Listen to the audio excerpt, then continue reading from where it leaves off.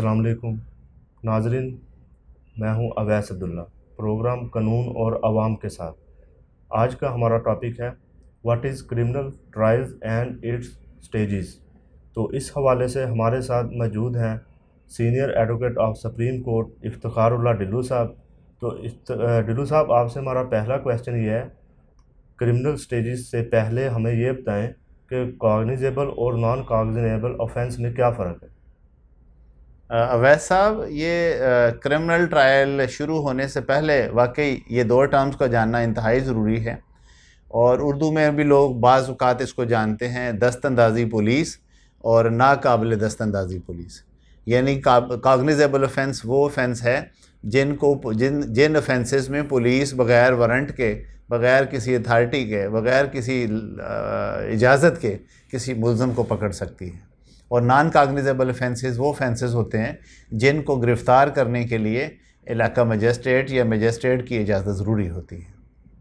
तो बहुत शुक्रिया डिलू साहब। आप हमें अब हमारे नाजरन को ये बताइएगा कि ट्रायल कितनी किस्म के होते हैं। अवैध साहब क्रिमिनल ट्रायल की दो किस्में हैं आम तौर पे। एक होता है कि सिविल ट्रायल सिविल ट्रायल क्या होता है? जिनमें मामला ज़मीन के मामला हैं, कुछ सिविल, कोई दीवानी मामला हैं, जिसमें कोई पर्सनल राइट्स के मामला हैं तो ऐसा केस जो सिविल राइट्स से मुतल है, जो रेवेन्यू से मुतल है तो ये सारे ट्रायल स्टेजेस हैं इसकी, और ये सिविल ट्रायल में आता है। और दूसरा है क्रिमिनल ट्रायल। क्रिमिनल ट्रायल वो है कि जिनमें वो फौजदारी जिसको उर्दू में हम कहते हैं तो इसके ये दो तरह के अमलात में, एक सिविल ट्रायल है और दूसरा क्रिमिनल ट्रायल है। तो डिल्लू साहब, आप हमारे नाजिन को बताइए कि क्रिमिनल ट्रायल की क्या क्या स्टेजेस हैं? कितनी इकसान है?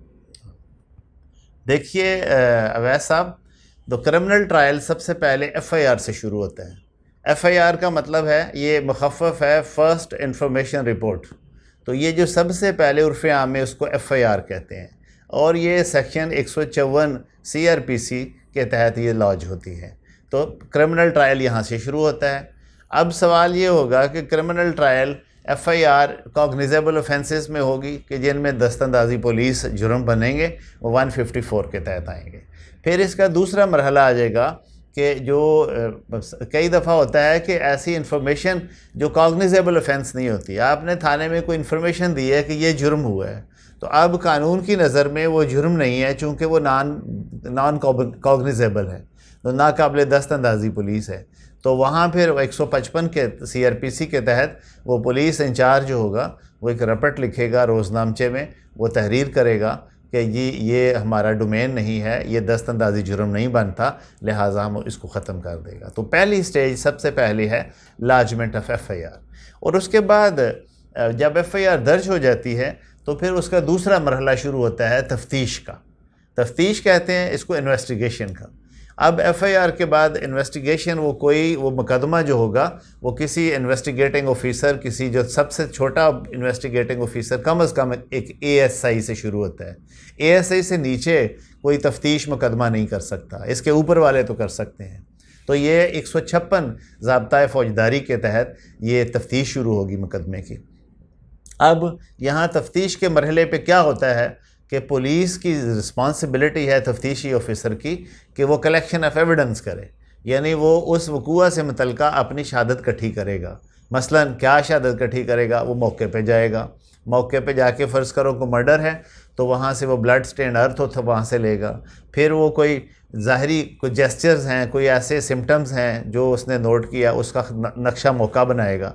नक्शा मौके पे पड़ी हुई चीज़ों का अंदाज करेगा कि कौन कौन सी चीज़ कैसे पड़ी हुई थी, बेड की क्या सूरत हाल थी, बिस्तर कैसा था, या उसकी सूरत हाल क्या थी गिरदो नवा के, हालात वाक़ात फिर वो अपने इर्द गिर्द के लोगों को पूछेगा कि इस वकूआ के बारे में, अपनी खुफिया तफ्तीश भी करेगा।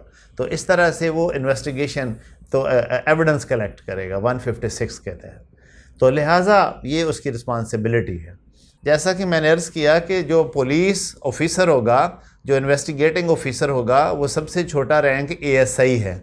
इससे एएसआई से ऊपर रैंक वाला तफ्तीश कर सकता है, सब इंस्पेक्टर इंस्पेक्टर।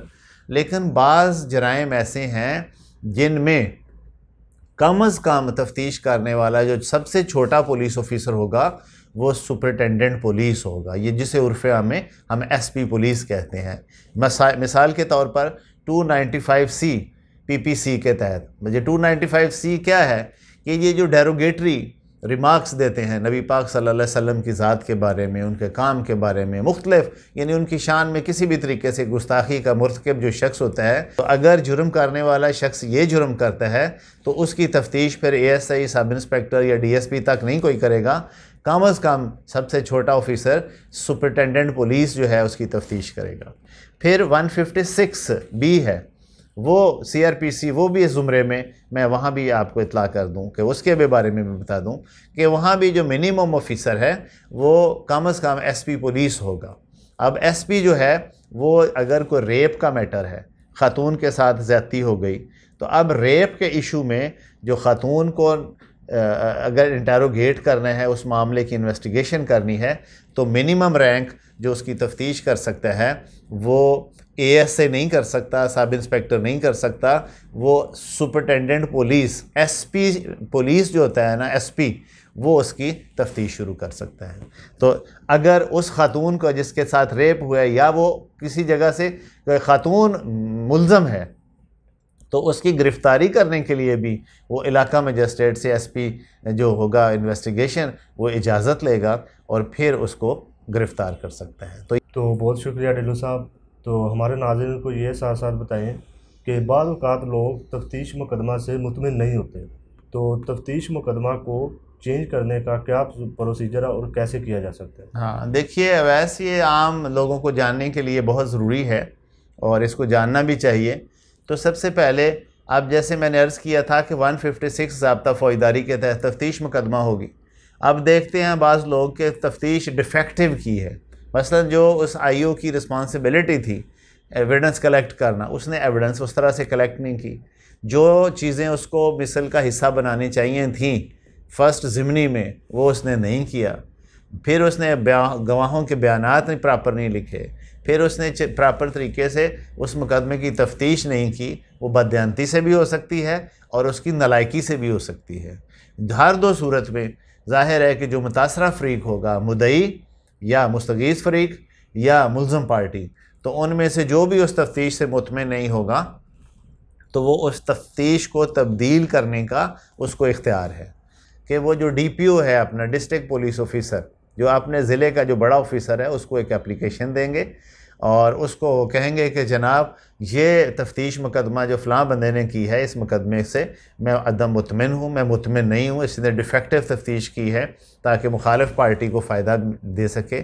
इन हालात की वजह से ये जुर्म बनता था, उसने वो नहीं किया, ये तफ्तीश बनती थी, उस फ़ेज़ को उसने छोड़ दिया, लिहाजा ये तफ्तीश तब्दील की जाए। अच्छा उसके बाद फिर डीपीओ जो district police officer district level पे क्या होगा? एक साथ एसपी इन्वेस्टिगेशन होगा। उसका बोर्ड का, वो एक बोर्ड होता है डिस्ट्रिक्ट लेवल पे। तो उसमें एक डीपीओ के साथ साथ एक डीपीओ होगा, एक एसपी इन्वेस्टिगेशन होगा और कुछ सीनियर मोस्ट डीएसपी लीगल भी शायद उसमें साथ रख लेते हैं। तो फिर वो डिसाइड करेंगे कि वो एप्लीकेशन की स्क्रूटनी करेंगे कि वाक़ता इसके फैक्टर्स हैं कि ये तफ्तीश तब्दील होनी चाहिए। अगर वो समझते हैं कि वाक़ता ये तफ्तीशी मुकदमा ने गलत काम किया है और यहाँ डिफेक्टिव तफ्तीश की है तो वो बोर्ड पर, जो मुकर मुकर तारीख पर उसकी, उसको गौर खौज करेगा और उसके बाद तफ्तीश तब्दील करके किसी दीगर शख्स के पास भेज देगा। अगर सपोज़ अदरवाइज़ अगर वैस ऐसे भी होता है कि बाद जो स्टैंडिंग मेडिकल बोर्ड है सॉरी जो स्टैंडिंग बोर्ड है for the change of investigation, वो आपकी तफ्तीश तब्दील नहीं करता। तो फिर जो आपका रीजनल पुलिस ऑफिसर है, यानी आरपीओ जिसको कहते हैं तो वो आप डीएजी लेवल का एक ऑफिसर होगा। तो वहाँ आप application R R P O के ऑफ़िस में दे सकते हैं और वहाँ वो यही सारे फैक्टर लिखेंगे कि जी मैंने तफ्तीश मुकदमा के लिए ये किया, ये मैंने कोशिश की डी पी ओ को बोर्ड स्टैंडिंग बोर्ड में मैंने एप्लीकेशन दी जो रिफ्यूज़ हो गई तो अब मेरे लिए इंसाफ का तकाजा है कि मैं आपके पास आ गया हूँ। लिहाजा अगर वो महसूस करते हैं कि ये तफ्तीश वाकई तब्दील होनी चाहिए तो आर पी ओ किसी बंदे के पास तफ्तीश भेज देगा। और अगर वो महसूस करता है कि वो जो तफ्तीशी ऑफिसर है, उसने मिसकंडक्ट किया है, उसने प्रोफेशनल मिसकंडक्ट किया है, उसकी सरकारी जो ज़िम्मेदारी थी, उसकी उसने बजावरी प्रॉपर नहीं की तो उसको सज़ा भी दे सकता है। और फिर एक तीसरी स्टेज है। अगर आप सपोज़ कहते हैं कि आरपीओ ने भी आपकी तफ्तीश तब्दील नहीं की तो फिर आप पटिशन कर सकते हैं। तो बाईस से भी जिस तरह हम करते हैं ना तो पुलिस आर्डर 2002 में पुलिस आर्डर 2002 में आ, वो उसको डिफ़ाइन किया गया है। आप बजरिया अदालत उसको तफ्तीश को तब्दील करवा सकते हैं। तो ये तब्दीली तफ्तीश का तरीक़ाकार है। तो डिलू साहब आप हमें हमारे नाजरन को ये गाइड कीजिए ये थोड़ी सी इन्फॉर्मेशन दें कि एक सौ इकसठ और एक सौ चौंसठ के बयान क्या हैं? और ट्रायल में इनकी क्या अहमियत है? अच्छा अवैस साहब, ये बड़ा अच्छा सवाल है और आम लोग भी, जब जो पुलिस में जिसका पाला पड़ा है, जो लोग पुलिस स्टेशन में जाते हैं, उनको पता है कि जी, एक सौ इकसठ का बयान पुलिस ने लिखा है। एक सौ इकसठ का बयान क्या है? 161 सिक्सटी जबता फौजदारी है। तो ये जो तफ्तीशी ऑफिसर 156 जबता फौजदारी के तहत, जब वो तफ्तीश मुकदमा शुरू करता है तो सबसे पहले वो जाके मौके के जो गवाहान होते हैं, जो भी एविडेंस उसने कलेक्ट करनी है, वो जो गवाहान के बयान लिखते हैं। और याद रखिए कि ये जो गवाहन के बयान होते हैं, ये साइंड नहीं होते सील्ड और साइंड नहीं होते कि इस पर किसी के दस्तखत नहीं होने चाहिए। ये सिर्फ़ पुलिस वाले ने लिखे हैं किसी से पूछ के। तो इनकी बहुत अहमियत है, चूँकि सारा क्रिमिनल ट्रायल बाद में 161 के स्टेटमेंट पे ही चलना तो ये पुलिस का बेहतरीन काम, अगर किसी पुलिस ऑफिसर ने बेईमानी करनी हो, अगर वो बदयांती करता है तो बदयांती में वो क्या करेगा कि जिस तरह गवाह कहता है, वैसे वो नहीं लिखेगा। या जो बयान गवाह ने लिखा, उससे उसने ज़्यादा करके लिख दिया, या उसमें तहरीफ कर दी, कमी पेशी कर दी तो ये बदयांती की एक एग्ज़ाम है। तो पुलिस का जो स्टेटमेंट पुलिस ऑफिसर लिखता है किसी गवाहान का तो वो 161 जबता फौजदारी के तहत होता है। और 164 क्या है? ये भी जबता फौजदारी की दफ़ा है कि 164 का जो स्टेटमेंट होता है, वो मजिस्ट्रेट के सामने होता है।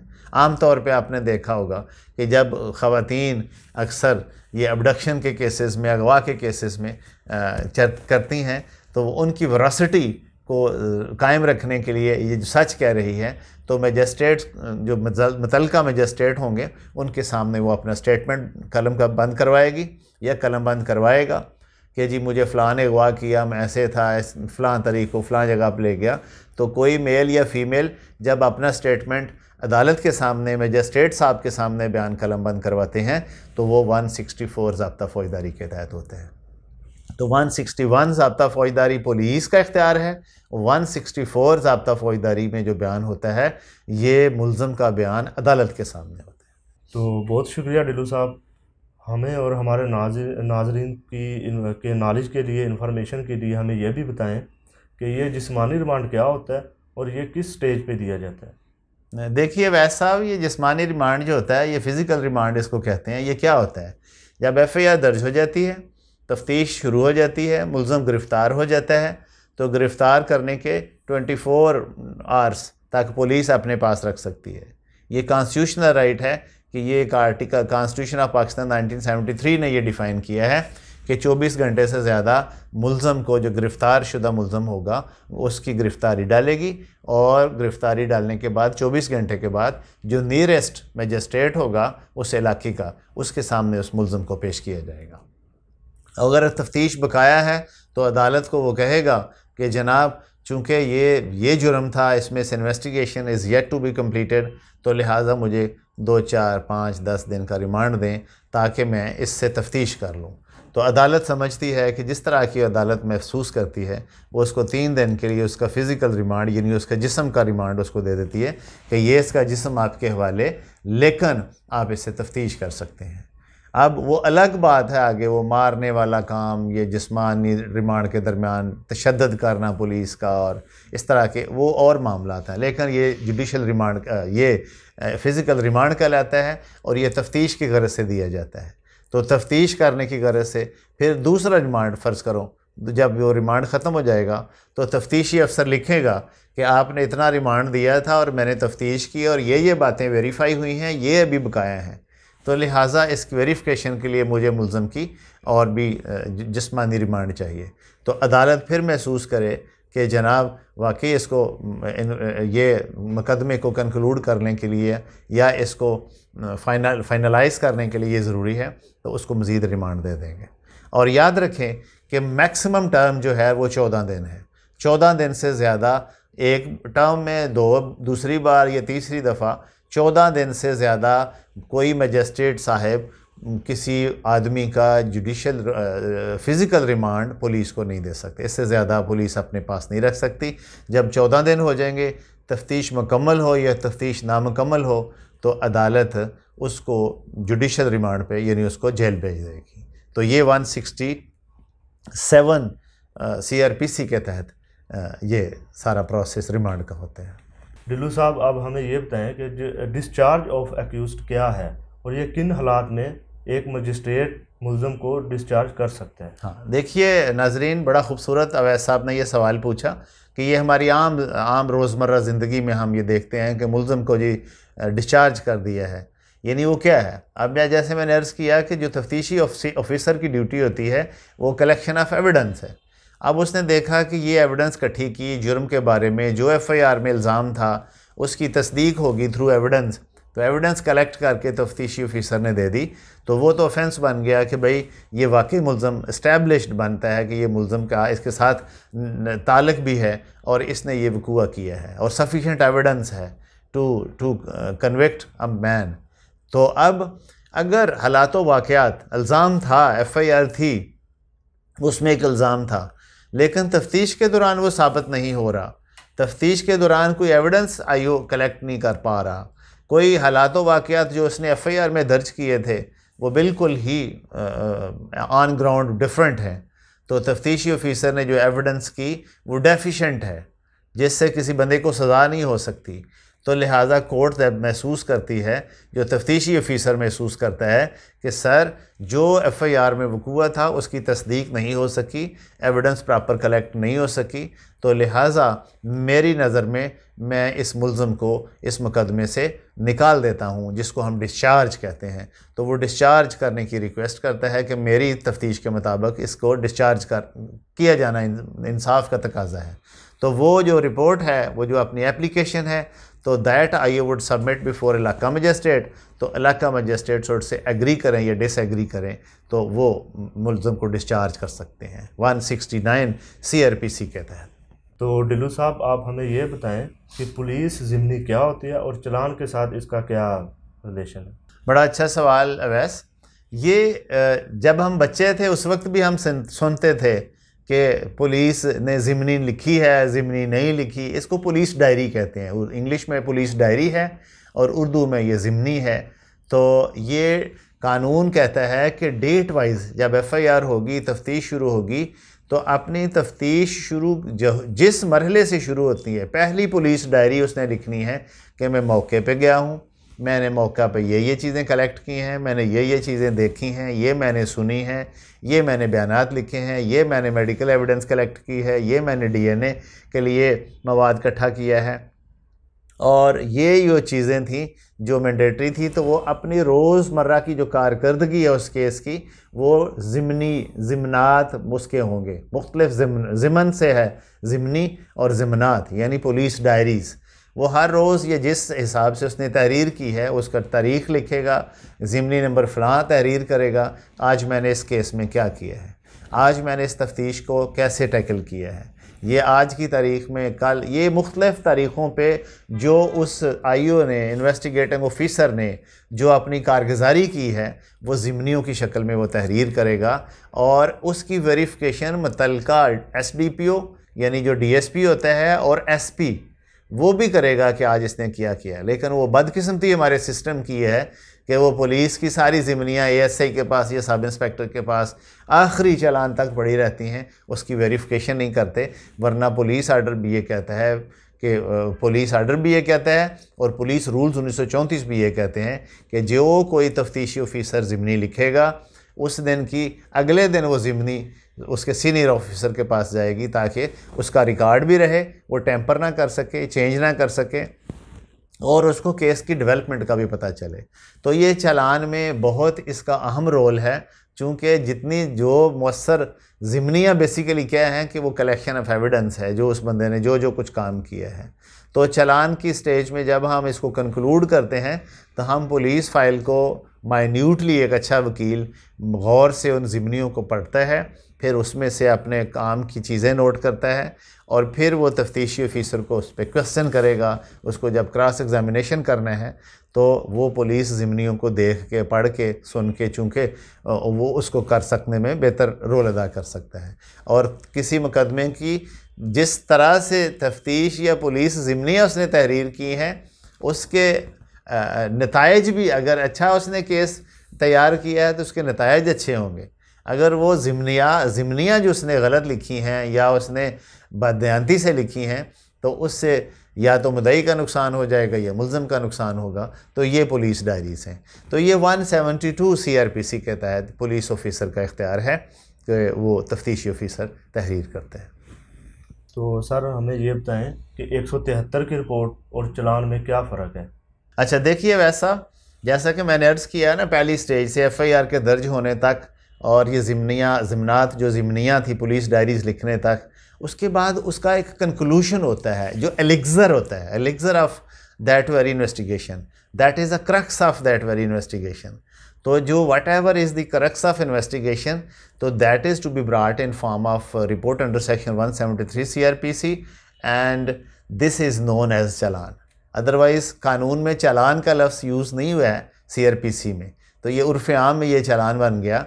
कि अब जो तफ्तीश मुकदमा हुई, तफ्तीश मुकदमा करते करते ज़िमनियाँ उसने लिखी, फिर उसने मौखा नक्शा मौखा बनाया, सारा केस कंक्लूड किया और एक अपना फार्मूलेट किया। आखिरी स्टेज में एक, दो, तीन, चार पैराग्राफ में वो रिपोर्ट पेश की। उस रिपोर्ट को कहते हैं 173 under, report under section 173 CrPC ये जबता फ़ौजदारी के 173 है, जिसको कहते हैं एक सौ तिहत्तर की रिपोर्ट। ये जबता फ़ौजदारी के एक सौ जबता फ़ौजदारी के तहत ये मरतब होती है। और उसमें जितनी भी तफ्तीश पुलिस ऑफिसर ने की होती है, उसका खुलासा होगा और तमाम चीज़ों को डिस्कस करके मुलम को गुनागार तहरीर करेंगे कि जी, ये मुलम के ख़िलाफ़ एविडेंस है और हम इसको चलान कर रहे हैं और रिपोर्ट हम सबमिट कर रहे हैं। वो जो रिपोर्ट है, वो तफ्तीशी ऑफिसर फाइनलाइज़ करेगा।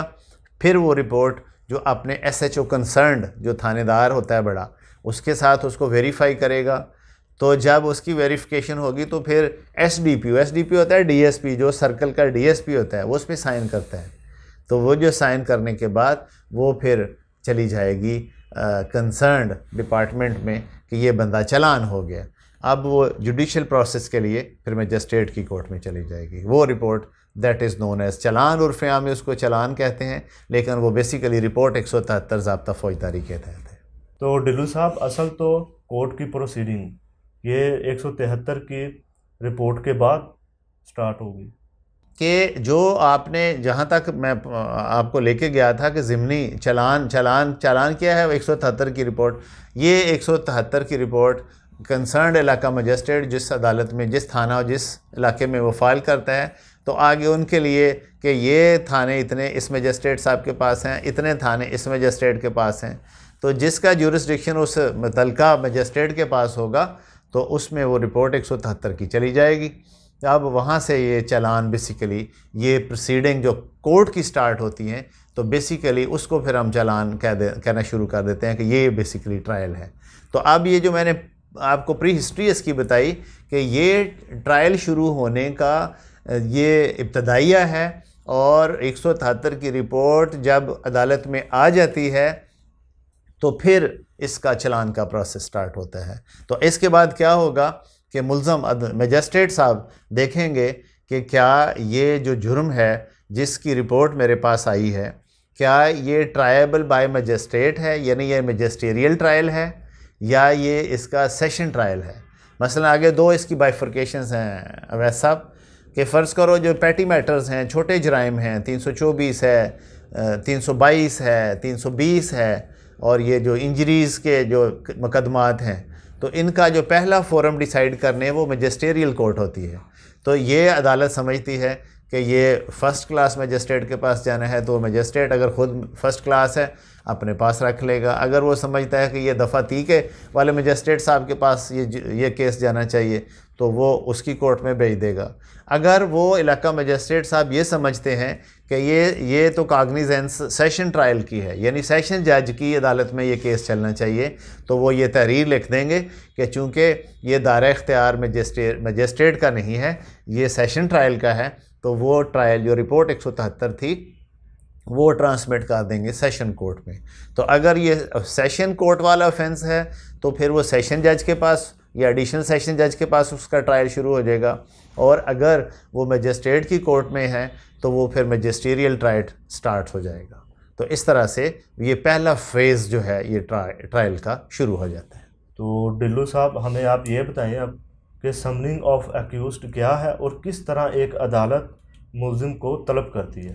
देखिए वैस भाई ये देखें जब तो अगर तो मुलजम जेल में है तो वो बेल पे नहीं है वो जेल में है। तो फिर अदालत उसको बजरिया, समन या नोटिस वो भेज देगी, वारंट उसका। तो वो जाके जेल से वो बंदा, फ़लाँ तारीख के लिए आपको अदालत ने तलब की है, उसका जेल वारंट में लिख दिया जाएगा, उसको तलब कर लेगी। अगर मुलज़म बर ज़मानत है, यानी उसकी उस स्टेज से पहले ज़मानत हो चुकी है तो वो फिर इस तरह करते हैं कि वो उसके लिए उसको सम्मान और नोटिस करेंगे कि भई आपको फ़लाँ तारीख ने अदालत ने तलब किए हैं तो लिहाजा आप अपना चलान की प्रोसीडिंग को फेस करें। तो अगर जेल में है तो जेल से बुला लिया जाएगा। अगर बाहर है तो उसको notice warrant non available warrant ये सारा प्रोसेस है। उसके लिए करके मुलम को तलब कर लेंगे। तो डिलू साहब ये नकूल तकसीम क्या है? हाँ देखिए अवैस साहब ये जब मुलम तलब हो जाएगा तो मुलम के सामने उसको जो भी उसके ख़िलाफ़ एलिगेशन है एलिगेशन की एक जिस्ट यानी जो उसका सब्सटेंस है, उसका मुख्तसरन उसके 161 जितने गवाहों ने उसके ख़िलाफ़ बयान दिए 161 के, वो एक कापी दे दी जाएगी। जो इन्वेस्टिगेशन वाले ने तफ्तीश करके उसको एक बताया कि आपके ख़िलाफ़ ये ये इल्ज़ाम है, आपने फ़लाँ मौके पर फ़लाँ ये काम किया। तो ये सारी जो रिपोर्ट है, उसकी जो मुख्तसरन वो मुलम के सामने रखी जाएगी, जिसको कहते हैं कि ये ये तकसीम नकूल है। यानी जो जिस्ट ऑफ़ एविडेंस थी उसके ख़िलाफ़, वो उसको पेश की जाएगी कि ये आपके एलिगेशन है और आप आप क्या कहते हैं इसके बाद? तो उसको कहते हैं कि तकसीम नकूल। तो ये 241 ए सी आर पी सी के तहत होती है। अगर सेशन टाइट है तो दो सौ पैंसठ सी सी आर पी सी के तहत ये नकलें तकसीम करते हैं। तो डिलू साहब, इसके आगे ट्रायल का जो अगला, अगली स्टेज होती है, वो है फ्रेमिंग ऑफ़ चार्ज क्या अदालत इस समात के दौरान इसको तब्दील कर सकती है? देखिए, वैसे साहब ये बहुत खूबसूरत सवाल आपने किया है और ये नाजरीन के, बल्कि लॉ के स्टूडेंट्स के लिए भी ये बहुत ज़रूरी है। तो law as a law student of law हमें भी पता नहीं था जब पहले तो अब मैं आपको अर्ज़ कर देता हूँ, अब हमें इल्म है। तो अवैस साहब ये 221 जबता फौजदारी के तहत ये फ्रेमिंग ऑफ़ चार्ज का प्रोसेस फिर चलान में आएगा। तो वहाँ क्या करते हैं कि कोर्ट जो एविडेंस उसके पास पहुँची है रिपोर्ट अंडर सेक्शन 173 में तो वो उसकी रोशनी में उस पर फ़र्द जुर्म आयद कर देगी। फ्रेमिंग ऑफ़ चार्ज करती हैं कि मैं आपको इसकी रोशनी में ये आपके ख़िलाफ़ एलिगेशन है, जिसमें कोर्ट वाज तौर पे स्पेसिफ़िकली बताएगी कि फ़लाँ डेट को फ़लाँ वक्त, फ़लाँ साल आपने ये काम किया, आप उसके बारे में क्या कहते हैं? तो ये तीन चीज़ों का फ्रेमिंग ऑफ़ चार्ज में बताना इंतहाई ज़रूरी है। तो इसके बाद आप, मैंने, आपने दूसरा पोर्शन किया कि क्या आल्टर भी कर सकती है अदालत इसको चेंज भी कर सकती है, इसमें तब्दीली भी ला सकती है। तो जी तो अवैस, बिल्कुल अगर अदालत समझती है कि कोई नई एविडेंस आ गई है, या कोई एविडेंस किसी नई तफ्तीश के मुताबिक कोई और एविडेंस हाथ मिल गई है तो अदालत को ये इख्तियार है, उसका प्रेगेटिव है कि उस फ़र्द जुर्म को आल्टर भी कर सकती है। इवन ये भी कहते हैं कि आखिरी दिन, जिस दिन प्रोनाउंसमेंट ऑफ़ जजमेंट है, उससे पहले किसी भी स्टेज पे फ़र्द जुर्म जो है, वो अदालत तब्दील कर सकती है। अवैस साहब, यहाँ मैं आपको ये भी ऐड करूँ कि जब फिर उसके बाद जब फ़र्द जुर्म लग जाता है तो अदालत मुलम से पूछती है, उस पर साइन लेती है। अदालत मुलम कहता है, जी, मैंने ये काम किया है। अगर तो ये वो गिल्टी है, उसने मैंने एडमिट कर लिया कन्फेशन की तो जो भी उसकी सज़ा बनती थी कोर्ट उसको डिसाइड कर देगी और जो ट्रायल है, वो यहाँ फिनिश हो जाएगा। लेकिन अगर मुलम कहता है कि नहीं, मैंने ये काम नहीं किया तो I am not real guilty तो मैं अपनी इसमें एविडेंस मेरे ख़िलाफ़ लाएँ। मैं बेगुनाह हूँ। तो फिर वहाँ से जो शहादत का सिलसिला शुरू हो जाएगा तो फिर वो दूसरा फ़ेज़ शुरू हो जाएगा।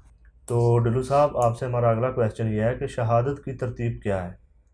अच्छा देखिए वैसा फिर अब आप जब मैंने अर्ज़ किया ना पहले सवाल में कि फिर वो जब वो कहता है कि मैं बेगुनाह हूँ तो आप मेरे ख़िलाफ़ जो भी शहादत लाएँ तो फिर जो पुलिस ने शहादत कलेक्ट की होगी एफ़ आई आर से लेके एफ़ आई आर की जो एप्लीकेशन मुदई ने दी है, वो एप्लीकेशन वहाँ से वो शुरू हो जाएगी। तो जो उसका बयान आ जाएगा, जो गवाहों के बयान होंगे, जो उसने 161 सीआरपीसी के तहत बयान उसके कलमबंद किए थे, वो आ जाएँगे अदालत में, वो अपना बयान देंगे। फिर तफ्तीशी मुकदमा जिसने उसकी तफ्तीश की थी, वो एज ए विटनेस आ जाएगा। तो फिर अगर डॉक्टर ने कोई डॉक्टरी मेडिकल किया हुआ है किसी मुलम का, या उसने कोई, उसके मुतलका कोई बात है तो डॉक्टर की एविडेंस आ जाएगी। तो एक कैलेंडर ऑफ़ विटनेसेस जो रिपोर्ट एक की जो रिपोर्ट थी, उसमें एक एक कॉलम उसके साथ होता है, उसको कहते हैं कैलेंडर ऑफ़ विटनेसेस जिसको फहरिस्त गवाहान होते हैं। तो वो चलान रिपोर्ट में ये लिखा होता है कि इस मुकदमे में फ़लाँ फ़लाँ हमारे गवाह हैं।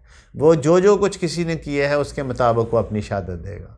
तो जो शहादत होगा, जो मुलज़म होगा, वो अपना वकील मुकर करेगा और मुलज़म का जो वकील होगा, वो उससे क्रॉस एग्ज़ामिनेशन करेंगे, हर गवाह से। तो उसका क्रॉस एग्ज़ामिनेशन बारे के वो सच को निकालने की कोशिश करेंगे। वो थ्रैश आउट करेंगे कि इसने गलत बयान दिया है अपने मुलम को बचाने के लिए। तो ये जो प्रोसेस होता है कि एग्ज़ामिनेशन इन चीफ़ कहते हैं उसको पी डब्ल्यू का। पी क्या होते हैं? पी होते हैं प्रोसिक्यूशन विटनेस प्रोसिक्यूशन क्या होती है? जो पुलिस है, जिसने केस बनाया है।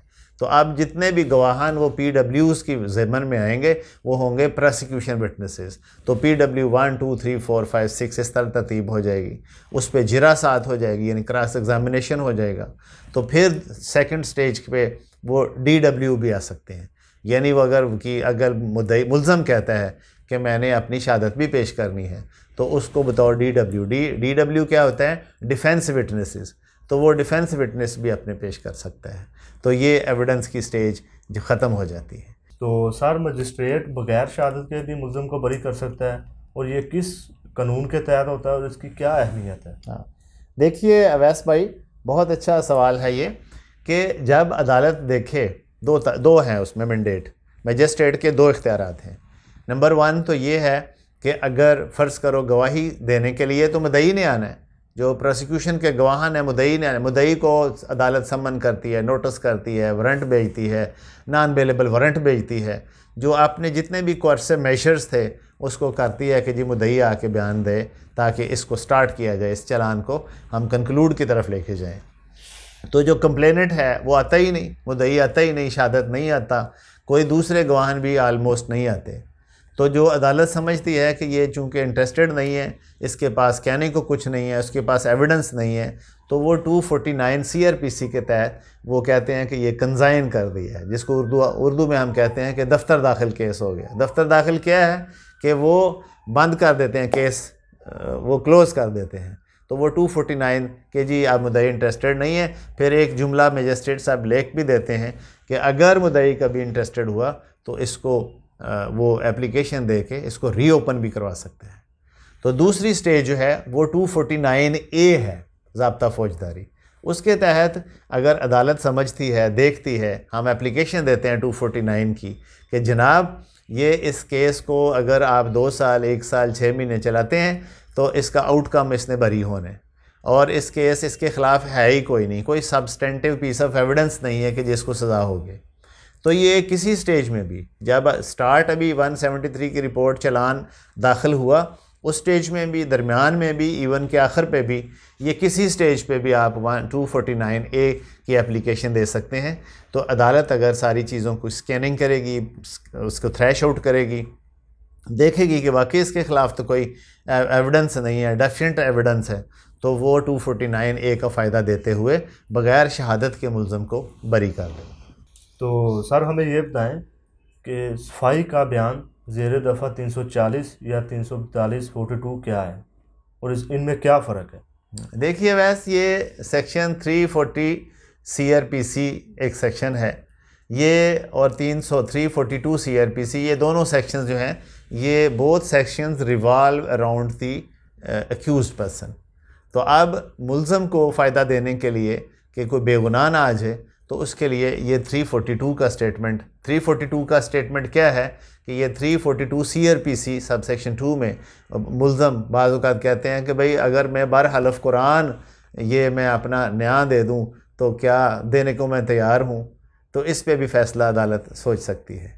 या फिर तीन, दो, तीन सौ बयालीस है, ये प्योरली सफ़ाई का बयान होता है कि वो वहाँ बग़ैर ओथ के विदाउट ओथ वो एक अपना बयान देगा, अपना डिफेंस पुट करेगा कि असल हालात ये थे, मैंने ये जुर्म नहीं किया।